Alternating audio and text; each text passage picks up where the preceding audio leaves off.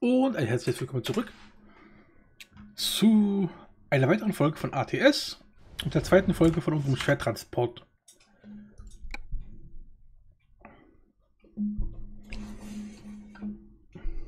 So, äh, was mache ich überhaupt gerade mit dem Mikrofon? Klebt es doch gleich ans Bild, äh, an den Bildschirm. So.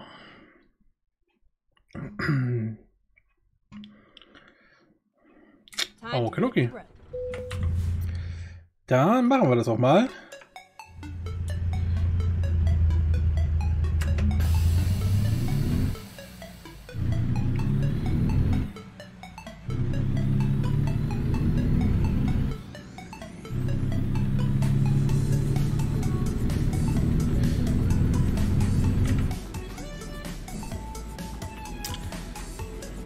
Oh, schon wieder eine Leitplanke. Ah.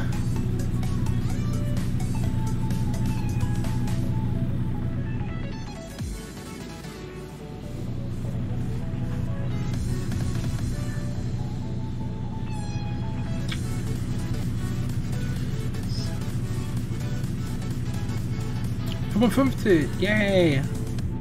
Wäre schön, wenn wir auch mal 55 fahren dürften, aber leider dürfen wir immer nur 40 fahren. Naja, was soll's. Sind ja bloß noch 130 Meilen. Die schaffen wir auch mit 40. So, oh, hier ist eine schöne Aussicht. Wow. Hashtag gefällt mir. Oha, jetzt dabei runter.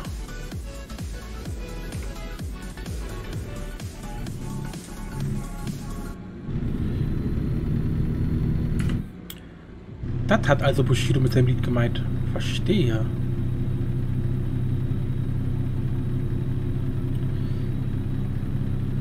So, hier ist er wieder gucken wie Gegenverkehr. Äh, und schon wird der wieder so verrückt, dass er abbremst. Ähm, äh, äh, mal, ist doch jetzt nicht, äh, äh, äh, Junge, komm auf deinen Job klar. Ich muss nur mal ausschwenken bei dem Kackauflieger. Warum kommandieren die eigentlich für meine Patrouille immer irgendwelche Praktikanten ab? Hm? Ich brauche ausgebildete Fachkräfte, meine Freunde. So wird das nix.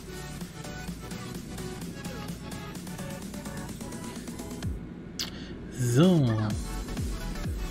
Eine sehr kurvenreiche Gegend hier.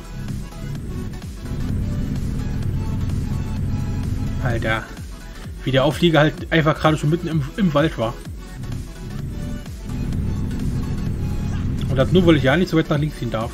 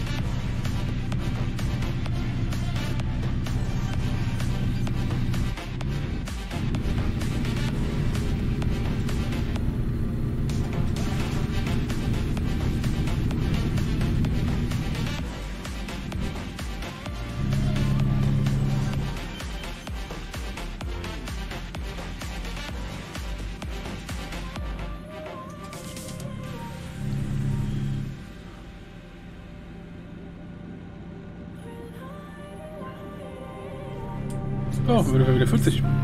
Ups.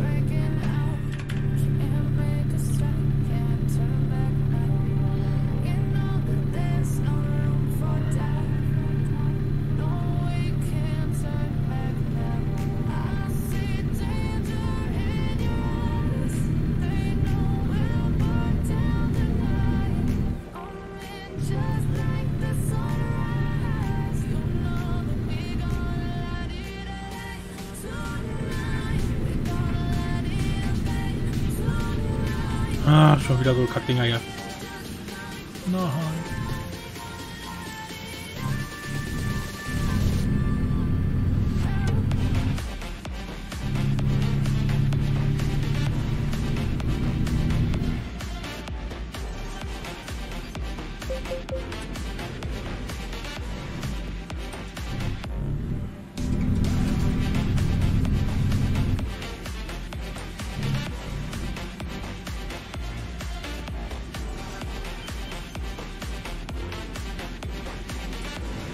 Junge. Bleibt doch nicht so.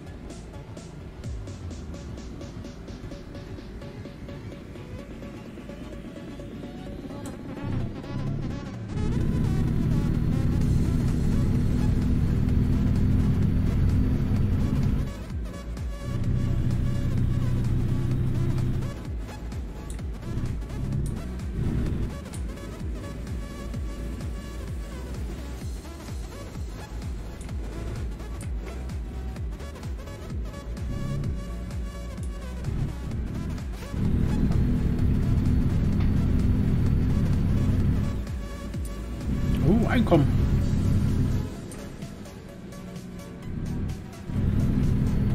Oh, cool. Jetzt hat er schon, Fernfahrer Level 2.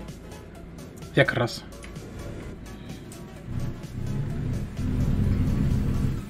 Wow. Normalerweise wäre bei dem Fragezeichen wahrscheinlich so ein ähm, Aussichtspunkt gewesen. Und in der Sonderfahrt wurde die aber mal deaktiviert. Ist ja auch interessant.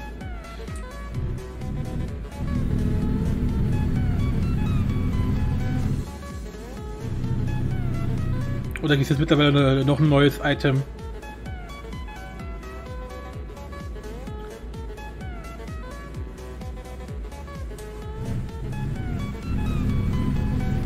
Weil äh, allzu viele Sachen, die Fragezeichen sein können, gibt es ja nicht. Ist ja bloß dann wieder irgendwelche ähm, Werkstätten, also Firmen, also hier, äh, nicht Firmen, sondern na, LKW-Hersteller halt. Bei deren Werkstätten, wenn man die entdeckt. Oder halt Jobcenter. Und dann, und dann gibt es halt bloß noch Aussichtspunkte. Und da da wieder eine Werkstatt war, noch ein Arbeitsabend, kann es ja eigentlich bloß ein Aussichtspunkt gewesen sein. Außer, wie gesagt, es gibt jetzt mittlerweile noch neue Sachen bei der 1.45, die ich noch nicht kenne.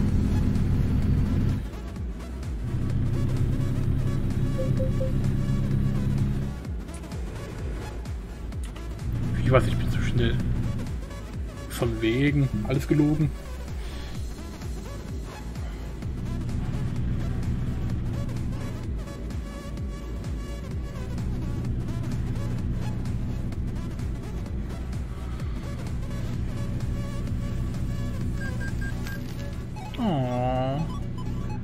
Immer diese Kredite.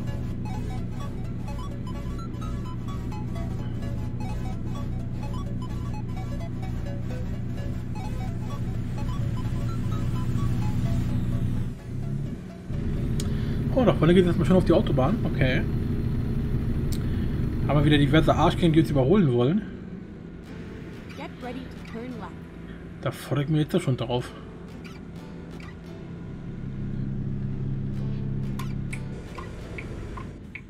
Vor allem, weil dann wieder beim Holen der Polizist vor uns wieder irgendwelche Atemprobleme bekommt und dann wieder ruckartig auf die Bremse drückt. Nur weil der andere an ihm vorbeizieht. Komm ich hier vorbei? Nee, ne? Ah, doch, sieht gut aus. Dachte schon, das passt nicht mehr. Aber Hat doch gepasst.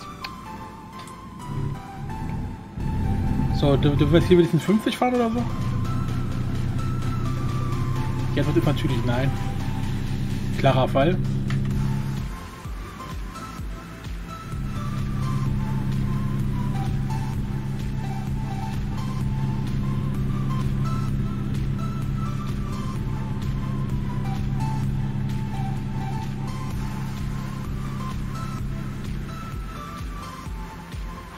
So, noch 18 Meilen.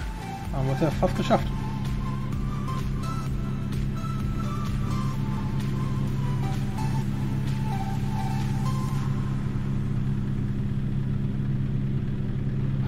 Jetzt wäre wär natürlich cool, wenn wir durch diese Mission direkt so viele XP bekommen, dass wir direkt gleich 20 Level überspringen oder so. Einfach so. Bumm. Because we can. Und dann geht's schon wieder runter von der Autobahn.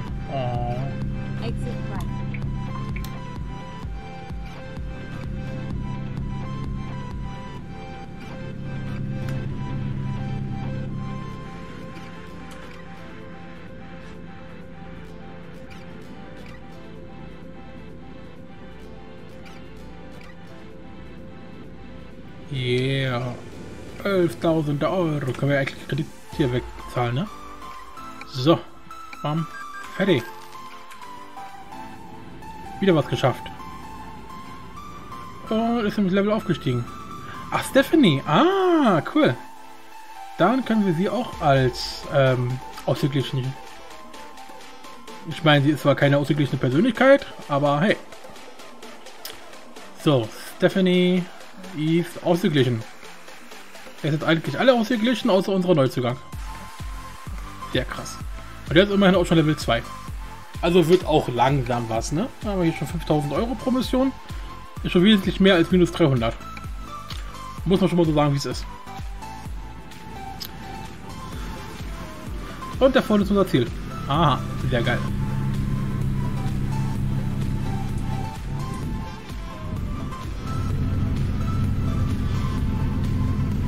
Dass der Auflieger dabei nicht aufsetzt.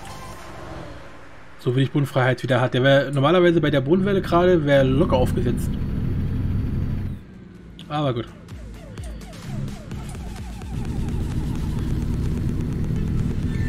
Ist Physik, so wie wir sie kennen.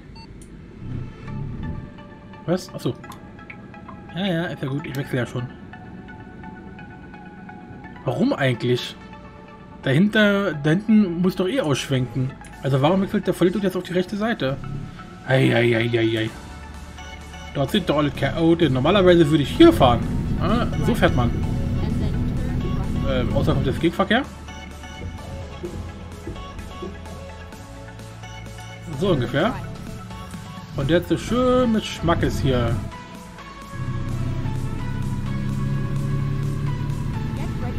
Oh ja, so macht man das. Und wie viel Schaden haben wir gerade bekommen? Ah, gar kein. So, hier ist jetzt nicht so viel Platz, aber sollte reichen. Ey, was, was machen wir denn hier? Ach so, oh Gott. Äh, halt. Wollen wir jetzt gucken hier? Gut, so viel Platz ist jetzt hier nicht.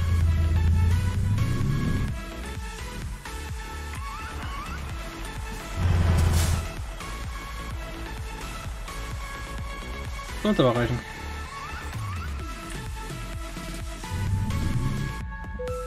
Wo genau? Ach, da hinten. Da müssen wir hin? Da kommen wir doch nie im Leben hin. Hä? Also da gerade reinzufahren. Also so reinzufahren, dass das Ding grün wird. Müssen wir ja, ne? Da müssen wir relativ gerade rauffahren. Wie soll das funktionieren? Ähm, okay.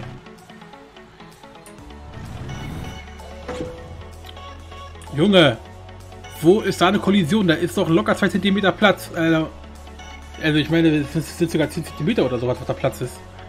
Hör mal, diese Alpha-Wände, ey. Eieieiei. Naja, wir sind wenigstens hat die Fracht keinen Schaden bekommen. So, machen wir mal hier, jetzt wird's hier. Was, was machen wir hier gerade? So.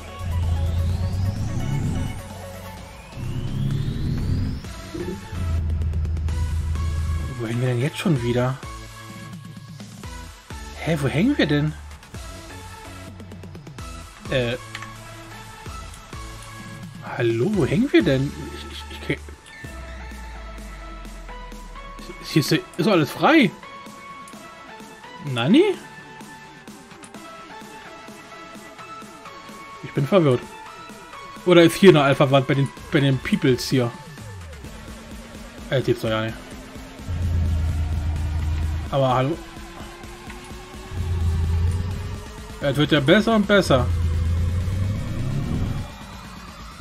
Ja.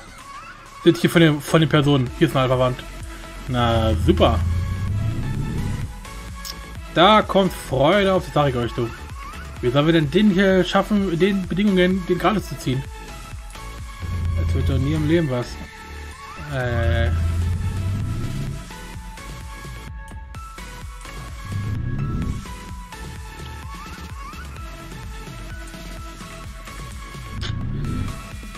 Ich glaub, das wird nix. Ne, guck mal, wie weit der rechts ist. Keine Chance whatsoever.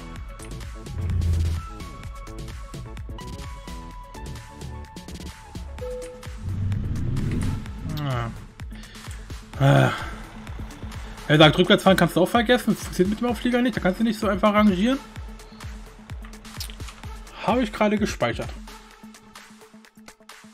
Wir machen wir den hier. Da müssen wir anders reinfahren. Das wird so gar nichts.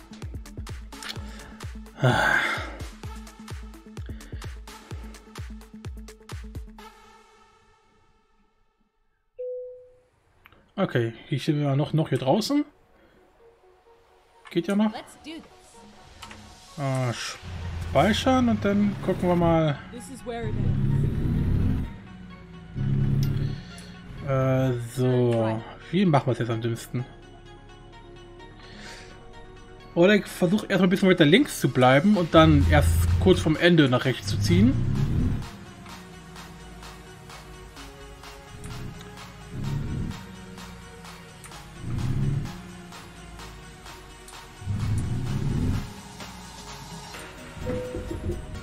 Wo? Oh, da ist ein, unten ein Ding.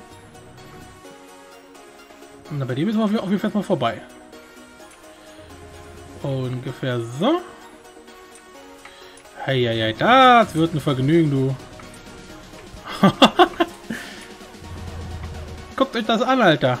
Das ist ein Kunststück. Die, die Kamera ist auch ein Kunststück. So, jetzt aber. So, schön weit nach links und dann erst im letzten Moment, das wird nie im Leben funktionieren. Aber wobei, doch, könnte klappen. Der Boden ist so hell, dass ich diese Kackmarkierung kaum sehe. So, jetzt muss aber funktionieren.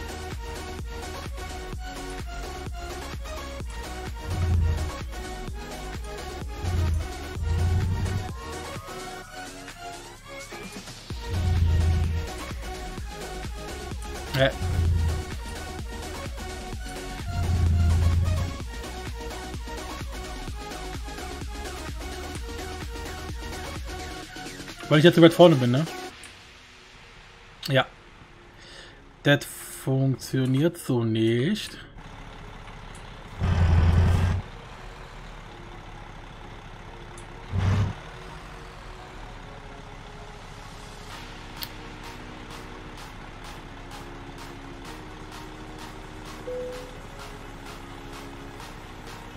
Und schon macht der hintere Auflieger. Oh, stopp. Aus, Ende. Wollte ich gerade schon wieder mit S bremsen, war aber gerade rückwärts. Äh, und schon siehst du hinten den, hintere Auflieger, wie der einfach macht, was er will. Deswegen, wir können den nicht rangieren. Also, das funktioniert so nicht.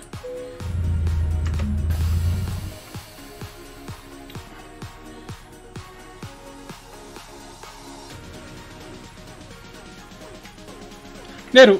Das ist nicht praktikabel. Von daher, let's go. So, oh ja, fast ein halbes Level. Immerhin. So, dann müssen wir jetzt mal ähm,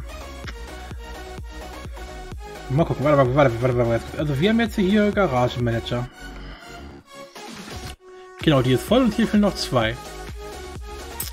Wie teuer wäre denn unser LKW? Ähm, das wäre der, das wäre ach, so und so. Und dann gucken wir mal.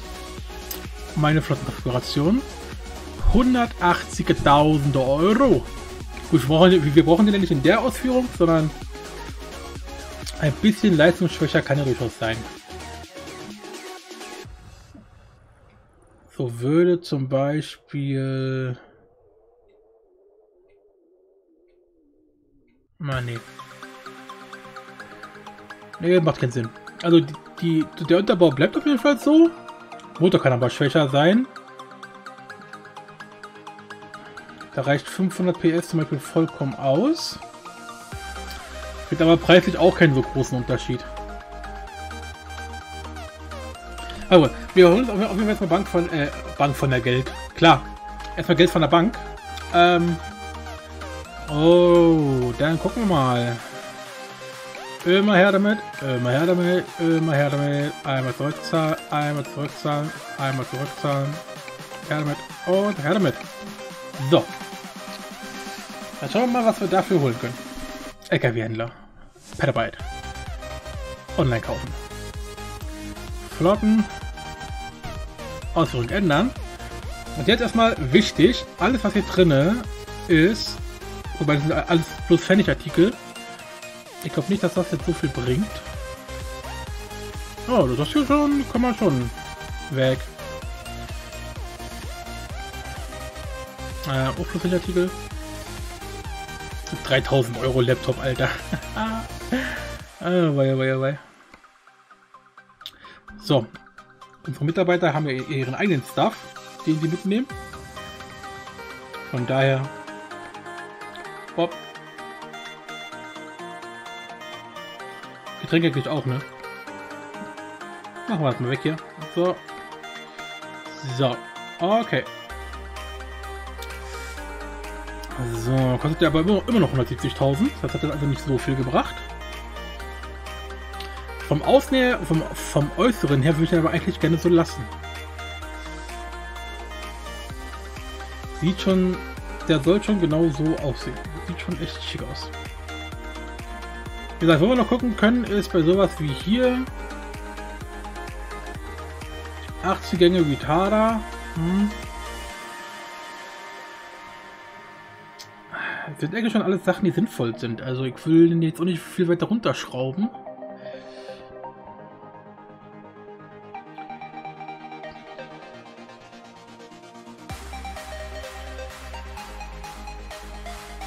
Ich meine, gut, den Vitala könnte man vielleicht weglassen, aber das würde dann preislich auch nicht so viel nehmen. Obwohl, 3000 Euro meinen.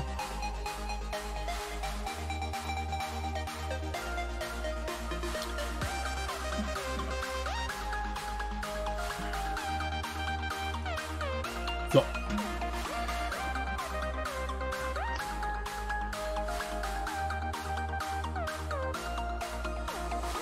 Halt ganz schön teuer, ne? Da würde es preislich auch nicht bringen, irgendwie runter zu gehen, weil um dem fast 100 PS zu klauen, bekommen wir gerade mal 5000 Euro mehr. Äh, also sparen wir gerade mal 5000 Euro ein. Das würde ich jetzt nicht sagen, dass das irgendwas bringt. Aber guck mal noch hier. Wenn wir jetzt von denen auf den gehen, haben wir fast 6000. Das bringt dann doch schon was. Aber viel weiter runter gehe ich auf jeden Fall nicht, weil 500 PS sollte schon mindestens sein. Darunter macht es halt keinen Sinn mehr. So. Hier macht es preislich auch erst ab hier Sinn. Aber was sind denn Sachen, wo ich sage...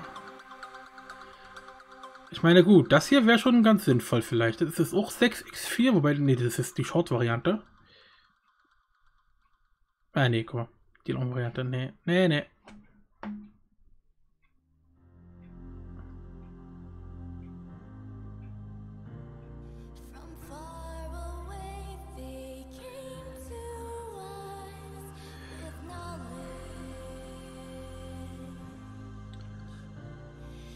Wir haben jetzt zwar nur noch Einradantrieb hin, also eine Achse angetrieben. Da sparen wir aber 5000 Dollar ein. Das bringt also doch schon ein bisschen was. So.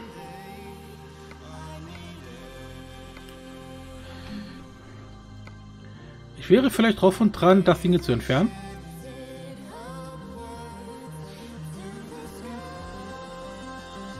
Da können wir den noch ein bisschen optisch von unseren LKWs äh, ne, auseinanderhalten. Aber so will ich ihn jetzt dann lassen. Viel mehr klauen. Gut, vielleicht ein bisschen Bling Bling klauen.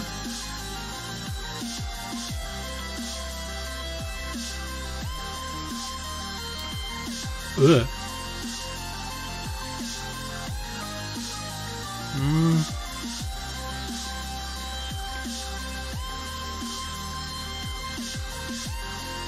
Hä? Dieses Ding hier ohne Lampen gibt's gar nicht. Weil hier hast du einen lackierten Tank. Aber die kommen mit, mit dem lackierten Rahmen, aber äh, Chromtank ohne Lampen gibt's gar nicht. Lol. Na gut, dann bleibt es so. Aber ich meine, so sieht es halt schon hässlich aus. Nee, das kann man nicht machen. Das sieht einfach nur hässlich aus.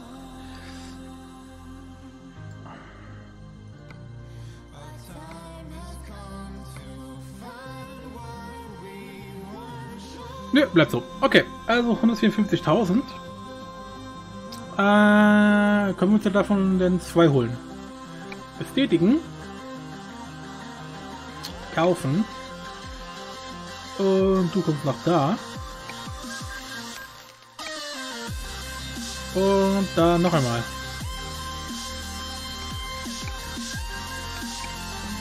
So, jetzt folgendes. Wir Fahrermanager.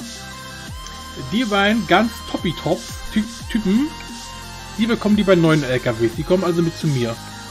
Einmal kommst du nach da. Die beiden Philips. Und du kommst nach da. Und dann haben die beiden die beiden leistungsstarken LKWs. Und für die beiden, die jetzt frei geworden sind, holen wir uns neue Mitarbeiter. Das wären also einmal, mal gucken, was wir so haben zur Auswahl. Ah, ein bisschen mehr Frauenpower. Oder nehmen wir doch, doch direkt die beiden hier. Einmal du. Ne, das geht nicht. Das geht dahin. Ah, einmal dahin. Und dann einmal die Dame. So, jetzt haben wir auch ein bisschen was für die Frauenquote getan. Das passt doch. Jetzt habe ich gar auf die, auf Statuswerte geachtet. Ich habe nur gesehen, dass hier kein Fernfahrer hat, aber bei den anderen habe ich gar nicht drauf geachtet. Was haben die denn so? Fahrermanager. Ja, ja, genau. Die, die, die hatten bei jeweils ein Level. Okay.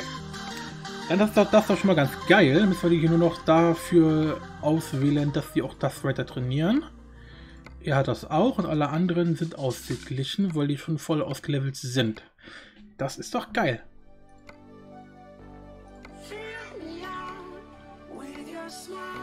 Geil, ja. So können wir das Ganze lassen. Ähm, Garagenmanager. Jetzt sind beide Garagen voll ausgelastet. Frauenquote haben wir auch. Und dann würde ich mal sagen, können wir das Ganze so eigentlich speichern. Speichern, speichern und dupp. Und wir stehen jetzt gerade, wo stehen wir jetzt eigentlich?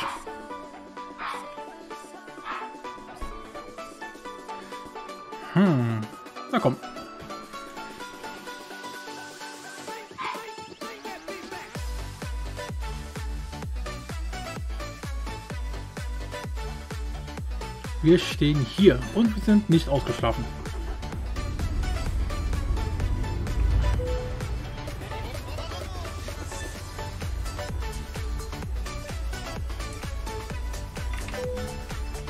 So, dann pennen wir mal.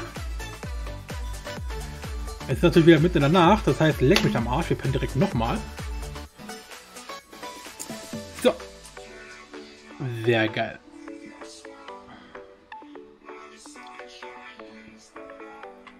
So, dann speichern wir an dem Punkt jetzt nochmal mit richtig speichern, unserem Speicherstand 1. Und dann machen wir jetzt nochmal mal Quick Save. So.